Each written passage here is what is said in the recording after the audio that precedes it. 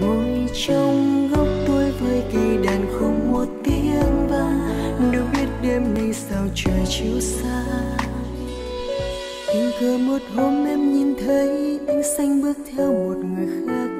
Mặc cho đêm mưa lạnh giá, anh vẫn bước đi trong lạnh lùng.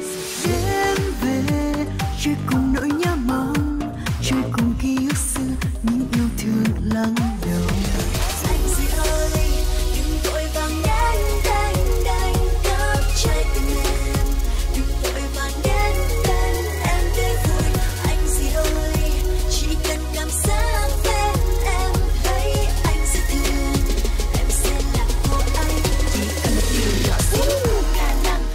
Trương Quỳnh Anh sinh ra tại Khánh Hòa, Nha Trang. Cô từng là học viên xuất sắc của nhà thiếu nhi Nha Trang và đoạt giải ba của tháng cuộc thi tuổi đời mênh mông.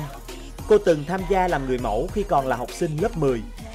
Trương Quỳnh Anh là diễn viên, ca sĩ trẻ nổi tiếng với giọng ca trong trẻo, ngoại hình sáng sân khấu. Cô hóa thân vào nhiều vai diễn, những ca khúc và vai diễn của cô đã để lại nhiều dấu ấn sâu đậm trong lòng khán giả.